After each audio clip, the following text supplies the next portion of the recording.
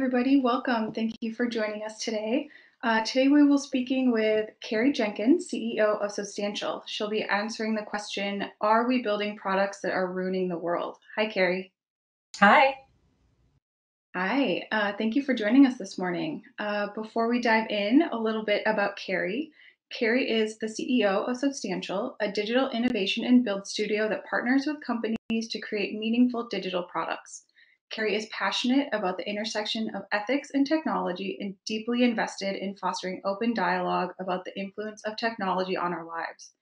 She can play, or she also is deeply invested in the role digital innovation can play in solving some of society's greatest challenges. Uh, we would also love to know a little bit more about everybody who's tuning in. If you could go into the chat and drop in where you're tuning in from. You can also use this chat function to ask questions anytime throughout the presentation. Carey will be sharing a presentation and we will have time for Q&A at the end. So go ahead and drop in questions at any time and we will answer as many as we can at the end. So without further ado, we will dive right in and Carey, I'll hand it over to you. Great, thanks. So, are we building products that are ruining the world? Um, if you came just to hear the answer to that question, I'll go ahead and get to it. And the answer is yes. But we don't have to. So technology is capable of making the world a better place, but we have to choose that. So I want to start in a forest. Um, I want to thank you all for joining me and just acknowledge that we're all on a lot of video calls right now. And so I really do appreciate you doing another one and, and being here with me. Uh, and that's one of the reasons why I want to start in the forest because uh, it, it's away from our computers and our heads, basically, and away from mute buttons and news feeds and homeschooling. And particularly in the last couple weeks, it's been really eventful and emotionally draining. Uh, and so for me, I really like forests, not just because of all the usual metaphors, but I find them grounding and optimistic.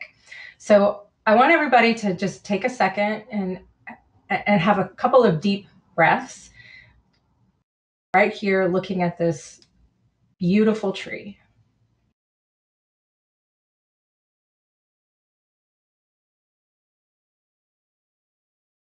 And so if we were in this forest for real, this is the point at which most people would be bringing out their phones to take a picture of it.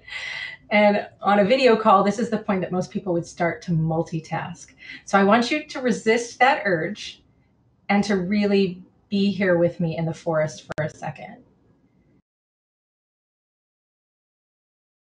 And while we're here, I want to ask you to think about a digital product that you use, uh, a product that you use a lot. So this could be an app, this it doesn't matter what platform it's on it doesn't matter its purpose. I just want you to think about something you use that you really depend on.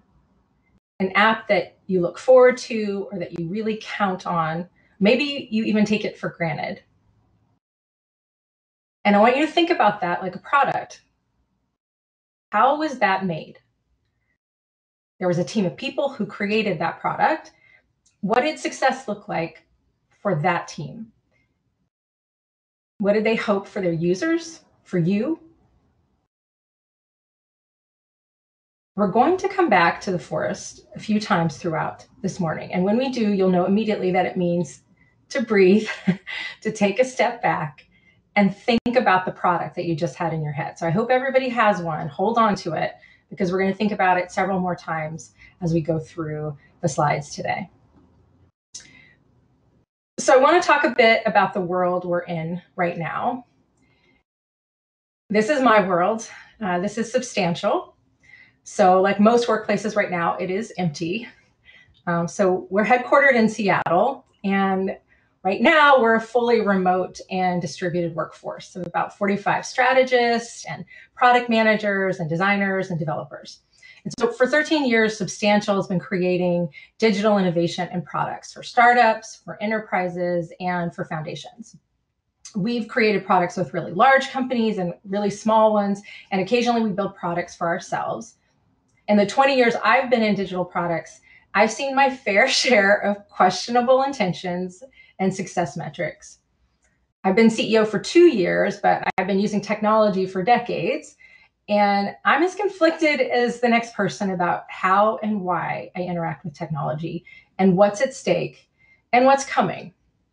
And so today's talk is not about passing judgment, it's about fostering a sense of purpose that we can bring to every product we create. So I have a mission to have as many conversations as I can about the agency and responsibility we have to create products with intention. So today I'm going to spend a few minutes laying out the current environment products are built in, and a few minutes talking about why what we create is so important. Then I'm going to share a case study with you. And then we're going to talk about how we can intentionally approach our work with integrity and ethics.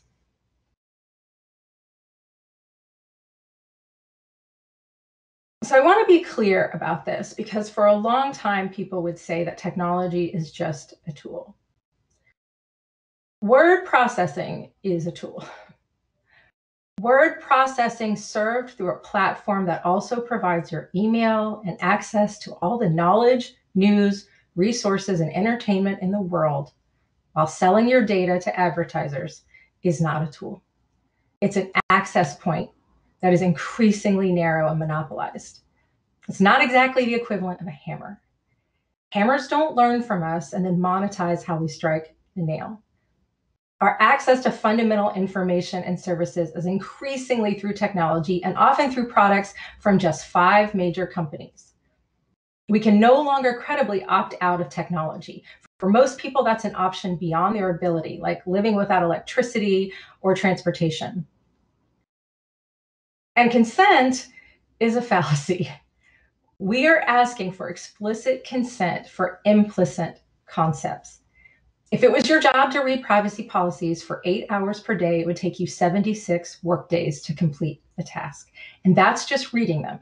Comprehending them is another story. Terms and conditions and privacy policies are about compliance, not ethics. The Center for Humane Technology, which I absolutely encourage you to visit and check out, has conducted reviews of peer reviewed academic studies to create a holistic view of the negative impacts mobile tech and social media has on society. They call it a ledger of harms, and it covers things like the loss of ability to focus without distraction, loneliness, depression, stress, loss of sleep, and even increased risk of suicide less empathy, more confusion and misinterpretation, propaganda, lies, and an unreliable and noisy space to talk. Children facing new challenges learning and socializes, socializing. And lastly, the fact that many people who work for tech companies, including CEOs, limit tech usage in their own homes. And this is a quote from a former VP of a major company, technology company, said that I can't control my decision, which is that I don't use that crap. I can control my kids' decisions, which is that they're not allowed to use that crap. The short term dopamine, dri- dopamine driven feedback loops that we have created are destroying how society works. It's a good time to go back to the forest because it'd be easy to feel overwhelmed with all the negative aspects of technology. But let's return here and have a few breaths. And then I want you to think about that product again the one, the digital product, the app that you use as you look at a forest. So, what is it about a forest that succeeds? There's no clear example of an ecosystem that can be experienced. Everything is interrelated. The trees don't exist separately from the ground or the moss, they feed off each other. And it's the same thing with that product you're thinking about. A team somewhere designed and developed that product. How do you think they worked? What was most important to them? Do we care what kind of company creates our technology? Well, as it turns out, we do. And areas that are of increasing concern for people are data security, use of digital media for nefarious intent, workplace automation and a loss of jobs, and a stark lack of diversity in technology companies, especially in leadership and policymaking positions. In 2015, 71% of Americans thought tech companies had a positive impact. That number is now 50% and still getting lower. My biggest concern is an industry culture that prioritizes speed above everything else while deprioritizing the lives of users in general and racial minorities in particular.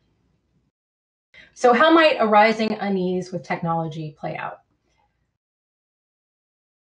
Well, the first thing to realize is that your product is way more than just the sum of its features. Your users are taking into consideration far more than they did even five years ago. 87% trust your brand based on their experience as a product user. 56% trust your brand based on their experience as a customer, and almost 40% attribute trusting a brand based, to its, based on its impact to society. So right as technology is on the cusp of breakthroughs in some of the world's biggest challenges, trust is declining. We're in the middle of a climate crisis, a global health pandemic, and unprecedented social unrest. Digital technology has been integral in keeping businesses running and vital information flowing, and it can be critical in problem solving. But widespread negative sentiment towards tech companies is obviously going to make adoption and trust more challenging. Would you believe that Black Lives Matter to a company that makes a large amount of revenue from white supremacist content? Can the largest companies in the world lead on climate change when their business still relies on contracts from fossil fuel companies? Should you trust that technology companies will prioritize your privacy when using a contact tracing app when those same companies have violated your privacy in service of their platforms? Every contradiction, every misstep builds in people's consciousness. Imagine trying to encourage voting digitally after what happened in the Iowa caucuses.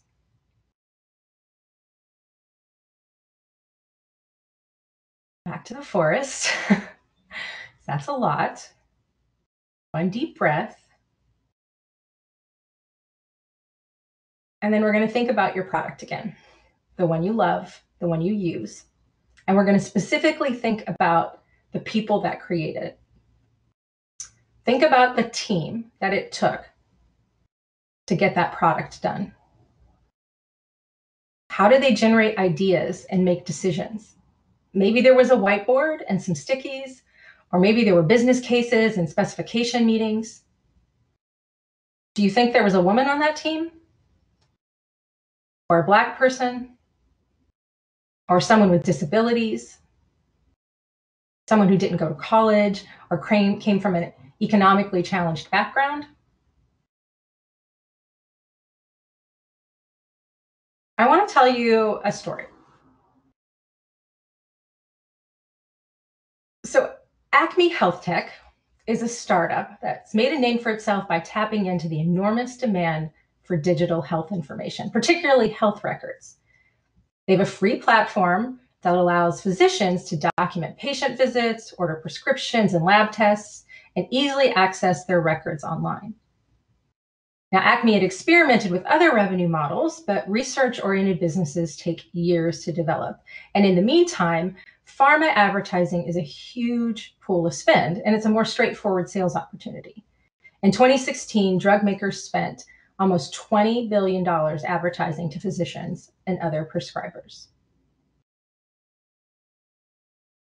But once you choose an ad driven path, commercial gravity tugs in the direction of selling more ad inventory and creating more effective advertising tools. And Acme had a lot of really big mouths to feed. So they had an idea. They had access to tons of insightful information. What if they offered that up to their advertisers, especially pharmaceutical companies that had never had access to granular weekly data on their drugs? They decided to using something called clinical decision support. And it, that's not new. That's been applied in many, many ways through healthcare. Clinical decision support is any tool that provides treatment information targeted to a specific person or situation. And they'd used it before in vaccinations. So previously, Acme had worked with a pharma company to develop workflow tools based on CDC guidelines that would boost vaccinations in the elderly, particularly for pneumonia. And that work was viewed really positively. So why not apply it to other uses? So partnering with a different pharma company, they started with a research study to see what kind of CDS would work with patients suffering from chronic pain. The idea was to get the opioid makers pain drugs to certain kinds of patients, ones who weren't taking opioids or those being prescribed the company's less profitable products. It also aimed to secure longer prescriptions. Some of the things from that study include the acknowledgement that overuse of medication and pain treatment was a national issue at the time. One of the conclusions was that reminders may have a sustained influence on the rate of opioid prescribing.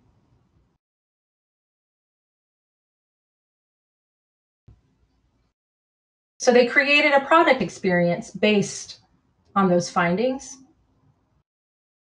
Click a button, and the program would create a treatment plan.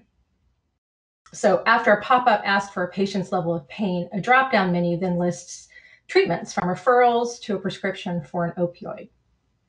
And despite the suggestions looking like unbiased medical information, Acme allowed the pharmaceutical companies to participate in designing the alerts, including selecting the guidelines used to develop the alerts, setting the criteria that would determine when a healthcare provider received an alert, and in some cases, even drafting the language used in the alert itself. The drug maker paid Acme almost a million dollars for this product. From 2016 to spring 2019, the alert went off 230 million times.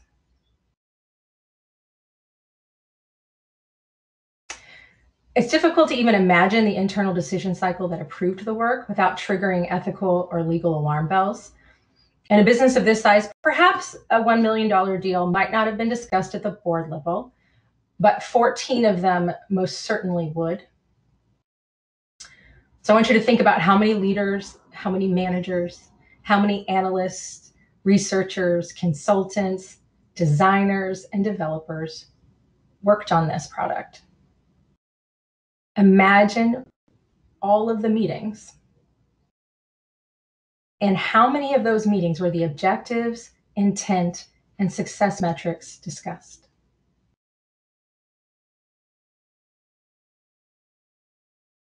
Really good time to go back to the forest and take a breath. And let's think about your product, the one you love and use. Presumably, it's a positive part of your life, however small. But what's the ecosystem your product lives in? Who and what are the other actors in that system? Because for every Acme Health Tech, there is a technology company putting out products that are positive additions to our lives.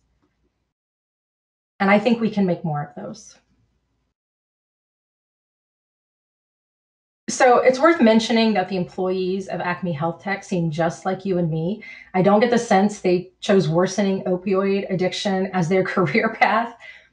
From what I can tell, their design team seemed somewhat diverse and close knit and focused on quality design practices.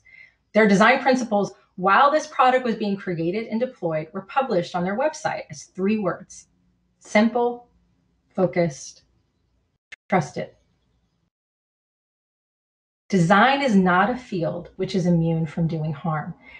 And placing the burden of ethical choices on one department or role or on a process ignores the realities of the decisions, big and small, that happen outside of design.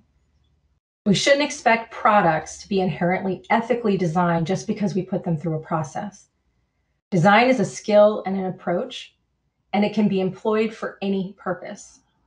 Remember, most designer and design departments still report into the business. And if you're thinking regulatory progress and legal requirements are going to solve ethical friction, know that compliance and ethics are not the same thing. Compliance is a minimum bar for social responsibility, but it's also mostly about risk mitigation. Ethics is not as black and white. It's about how you contribute, influence, and lead. Acting ethically takes courage. Ethical individuals often find themselves as a party of one.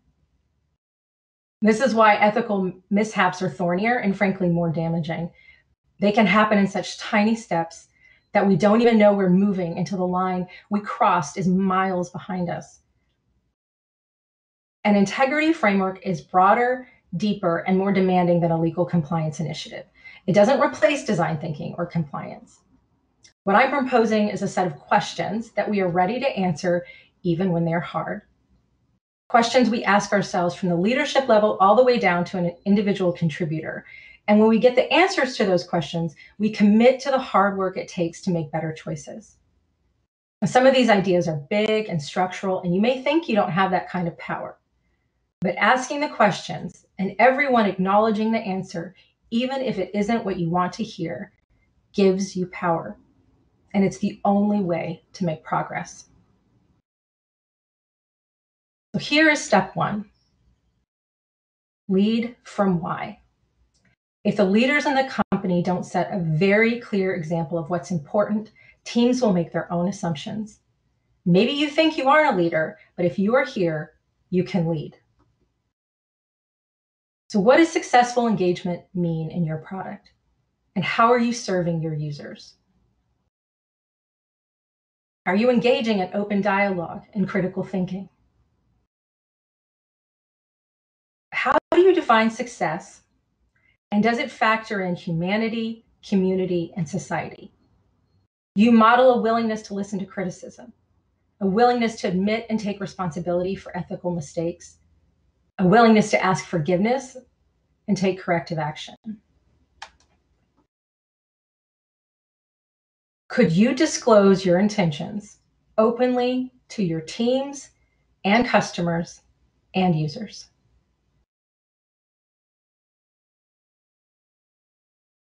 Two is to change the operating system products are being built in. This isn't about the platform products live on. This is about the actual environment with which products are created. Are directives and mandates coming from above without discussion or involvement at every level?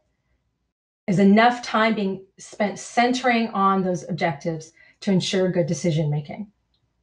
Who has an obligation to dissent? What is the message being sent from the incentives in your company? Is a large percentage of compensation in equity? Are people bonus for hitting only revenue or profits? The result is going to be a bias towards shortcuts, speed, status quo, and poorly thought out implications. What kind of accountability is framed in your org structure? Is it an extremely competitive atmosphere with huge growth and high turnover, constant reorgs and leadership changes. We may be telling ourselves that the meritocracy will serve us, but it has proven not particularly adept at ethical behavior. Teams that work in silos have a much harder time connecting to the intention of their work. If there are competing priorities or competition for resources, a very clear response would be to value only objectives without factoring in the larger holistic picture. Three, reduce blind spots. And believe me, you have them. Diversity in and of itself will not guarantee ethical products, but it is very hard to create them without diversity. Our homogenous teams give us confidence in our biases and apathy towards our blind spots. And this isn't just about representation. Think about the cultural norms that may be inhibiting more diversity. I can tell you I'm a female CEO with a very diverse executive team, and my company still struggles with inclusivity and diversity. So, how are your meetings run? What does collaboration really look like? Who are your dominant speakers? Which points of view are championed? Debate and discussion foster ethical learning. Almost all ethical learning happens when people discuss and debate their values. And when competing priorities arise, it's our ethics that guide decision making.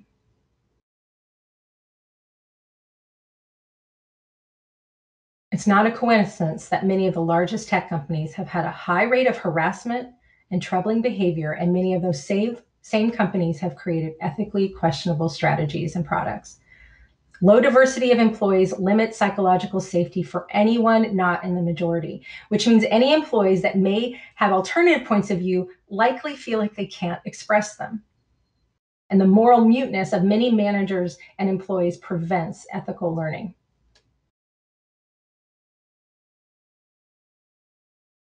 Four, think in systems. Remember the forest. Products are not isolated. They are part of an ecosystem along with intended users and other actors. Do you fully understand that system? Assume it's complex, because I assure you it probably is, and map it out. What is the key to that system? The entity whose existence all other actors depend. If we think back to the Acme Health Tech product, the key was prescribers. So any expectations of speed, scale, and adoption can cause imbalances and unexpected consequences. Does your product improve the system, change it, or eliminate parts of it? The Acme Health Tech product changed the way prescribers made decisions and improved speed to decisions. But it also made the quality of the doctor's decisions worse. And it deprived the patients of an opportunity for different kinds of care and tipped the scales even further in addiction to painkillers. You have to think about how your product can change the system in unattended ways. What would happen if the key to that system, to the Acme Health Tech product system, had actually been the patients instead of the prescribers?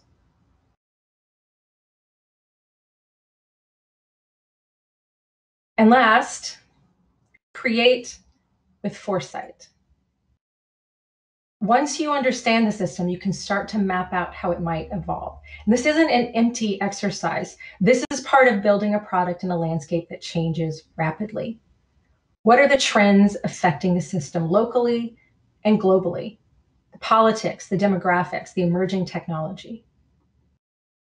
What does the system look like in year one, year three, year five and beyond. And I want to be clear this is not a roadmap of the features of your product. This is about the system it lives in. What other actors might be introduced? What actors might fall away? Does the key change? Once you can look forward in that way, how does your product still fit? And how will it succeed? And finally, it is vastly important to mention how many good ideas are diluted or abandoned because they just can't generate revenue fast enough. When you think about what success looks like, know that every milestone can have a profound effect on the quality of innovation. This is true for large businesses and small, investors or not. If speed really is the most important metric, what are you sacrificing for it?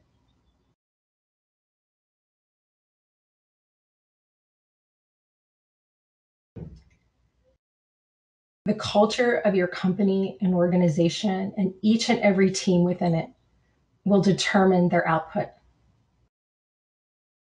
It doesn't mean that good products haven't been built in bad environments, but there was a cost to that. That cost was either to the product builders or it was to the users, but someone paid.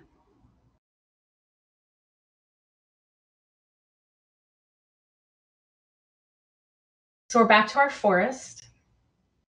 We're breathing and we're thinking about the positive things that technology can do if we commit to thinking about our intentions and our responsibility differently. Because with strategic foresight and a willingness to learn, to listen, to act, we can create products that contribute positively to our world. So it may help to think of that framework as a mindset that gently lays across your organization like a moss blanket. It's providing nutrients and warmth and moisture. Or maybe you want to think about it as an ethical compass guiding you through the trees. Or maybe you're tired of the forest, which is okay because we're done. Thank you. Thank you so much, Carey. That was great. Uh, the calming forest really did help when things got a little heavy there. For sure. It's heavy times. Yeah, but I loved your optimism during all of this too. There are definitely issues that need to be faced, but you are so optimistic in the way that you are challenging those. So, just to kind of kick things off, I know you have a lot of experience in the industry. I would love to know a little bit more about what first made you so passionate about ethics and technology. Uh, well, it's something I've certainly thought about um, in the last five years in particular, as I think lots of large scale sort of ethical quandaries uh, have been brought to the, the, public's attention. Things like data privacy come to mind. Certainly, our election security comes to mind. And so it was it was top of mind because I work in a technology company. But when I became CEO, I became um, much more committed to the responsibility I have to talk about it because I think for a while, it, it really wasn't talked about enough mostly because I think we wanted to believe as technologists that it was happening over there, that those kinds of problems are really only relevant to products that have the scale of some of these giant technology platforms. And I think it's really important for us to think about every single product because if you have one user or a billion users, that product's intention is still to serve that user.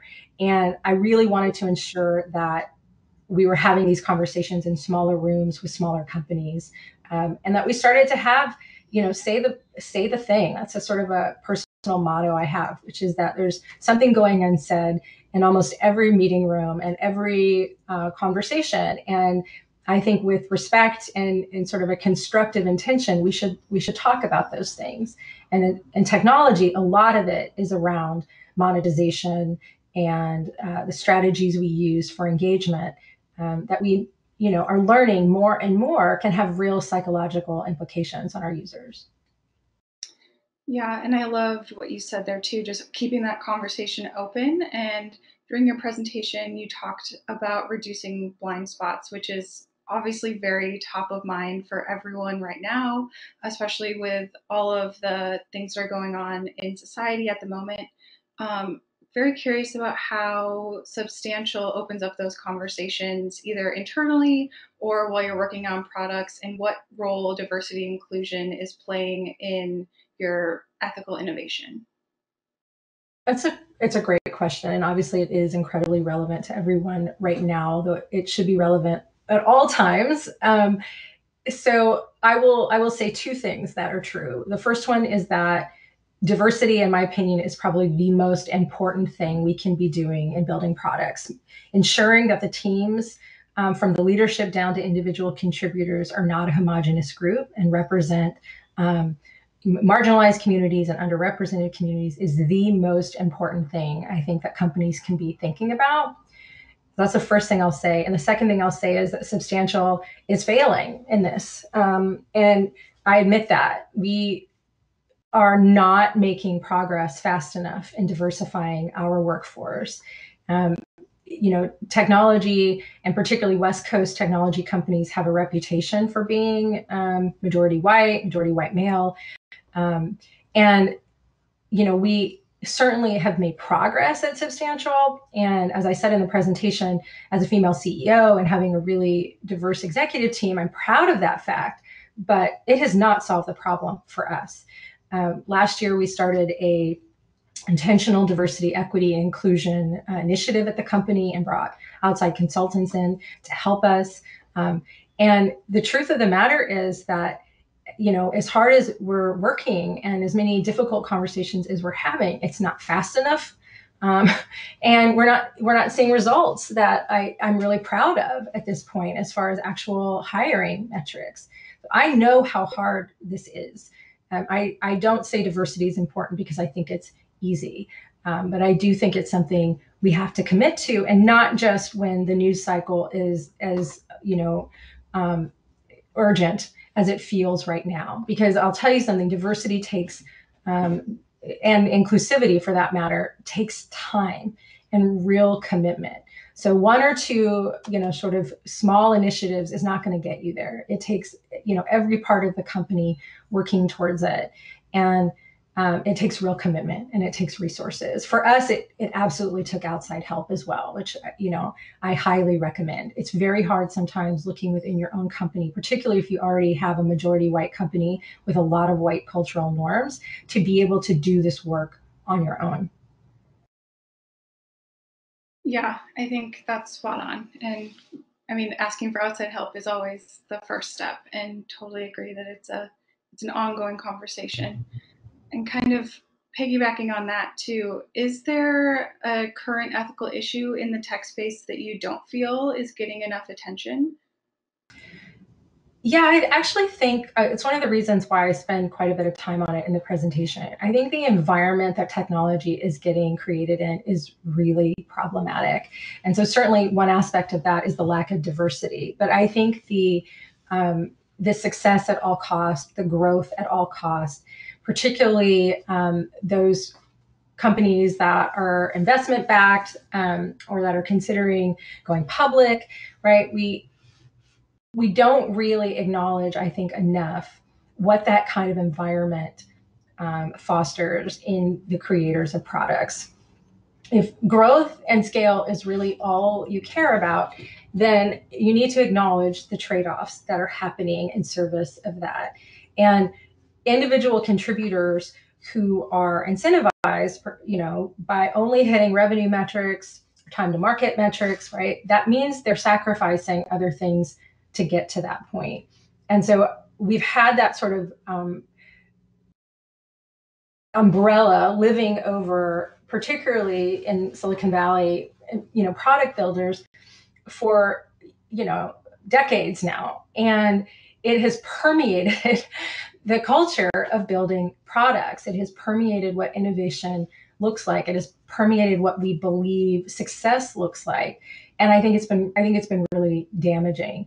Um, and that, that's a very easy thing to say on one side because I think the the real challenge is that people need to make you know need to make revenue so their businesses can survive. So I don't want to uh, not acknowledge that. I absolutely understand the imperative um, to be revenue positive. But I think that the investment culture has um, has also put some pressure on businesses to make trade-offs um, that really sacrifice what their users should be getting from those products.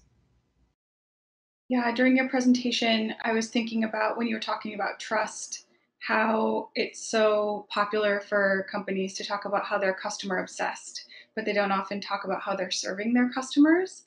So I wanted to know if you could talk a little bit more about trust and how uh, people who are building products can work to earn the trust of their customers.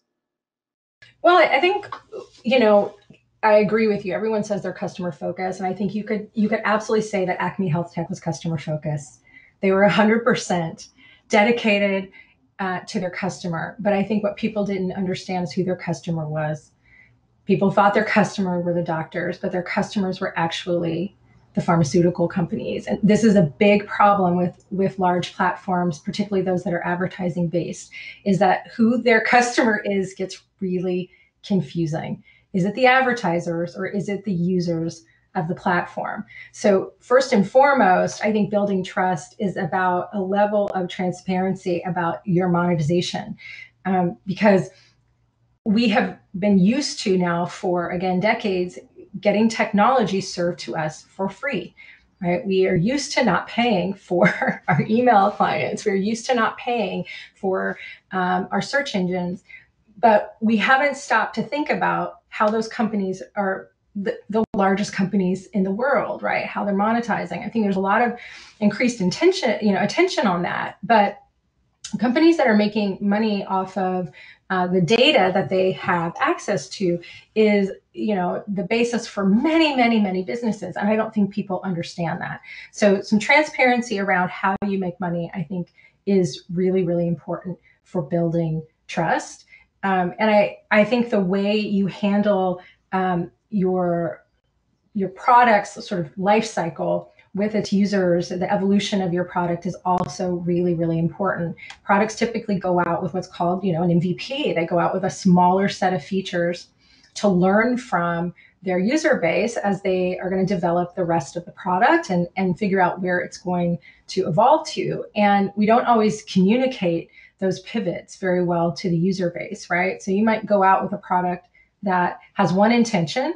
And and then years later you realize that another intention actually serves your business better. We're not very good about explaining to the users what that means. So transparency i think is a big part of it. A transparency too that is explainable. So this is a big problem with the way we are transparent now with terms and conditions and privacy policies. They don't make sense to people um, they're far too full of legalese. So if you're going to be transparent and build trust, I think you have to talk to your users in a way that they can understand and be really clear about what your product is bringing to them and what the exchange for that is. Yeah, definitely no one is reading all of those terms and conditions when they're planning. uh, before we wrap up, I do want to make sure I get to one of our audience questions. Um, looking at this a little bit more on the user side, uh, we have a question asking What principles do you use to guide the use of technology in your own life? Oh, gosh. I wish I had a great answer here uh, because I'm, I'm flailing about like most parents. I have a, a six, almost seven year old daughter. Um, and she is, you know, obviously completely enamored with screens like most kids her age. So, what we try to do is have a limited subset with which she can make her own choices. So we may choose a few apps that we feel like are um, good experiences for her, not just learning apps too. She has entertainment apps that she has access to for certain times of the day. And then we might choose um, which uh, shows or movies she's allowed to watch, but then we allow her the choice between those choices, right? So we create sort of a safer subset because I want to encourage in her the ability to make some of her own choices um, and I've found that the more we limit her to say things we only feel are educational or we only feel are learning related, um, the more she, you know, um, rebels against that. So if we give her a subset of content and, and apps and then let her make some choices, I feel like we're supporting her agency to choose wisely. And she doesn't always choose wisely. There's definitely some movies that I, you know, like, why are you watching this? Uh, not because they're dangerous, they're children's movies, but just because they're not high quality. Um, but I think it's important for her to understand the difference. And, you know, at her age, um, we're trying to sort of give her more choices than uh, we did say when she was like four. For myself, you know, it's very hard to not be addicted to technology and the job that I work on. I am sort of um, a Twitter addict. I don't participate, I just scroll. um, so every once in a while, I have to just go cold turkey. And um, it's always, you know, a really big breath of fresh air. It's like visiting the forest um, when I put that down. And and then for me, you know, my um, I, you know, I'm not on many social media platforms. Um, I just sort of don't really engage in that way anymore, mostly for uh, prioritization reasons. I sort of prioritize where I want to spend my time, and then I put the the rest of it aside. Yeah, I know how easy it is to get sucked into hours of social media. you get your from your iPhone, and it's terrifying. Yeah, and you know part of me feels like it really is part of my job to stay really informed on current events and trends. You know i talked about that in the presentation. Understanding the ecosystem that products live in requires you to think outside of the, the, tiny circle that your product is in. Well, if you consider Substantial, my, you know, the company I run, my product, I've got a big ecosystem around it. So I take that responsibility seriously, but I also, you know, need to let go of my newsfeed every once in a while. And just like everybody else, I have a hard time doing that. Take a step back and visit the forest. visit the forest. yeah. Um, it does look like we're out of time. Um, Carey, thank you so much for joining us. It was so great to speak with you and to hear more about what you're doing at Substantial. To everyone on the line, um, we will be following up with the video after this recording. It will be sent to you via email. You'll also be able to find that on our YouTube channel and on our blog. So, Carey, thank you so much for joining, and we'll talk to you soon. Thanks. Bye. Bye. Thank you.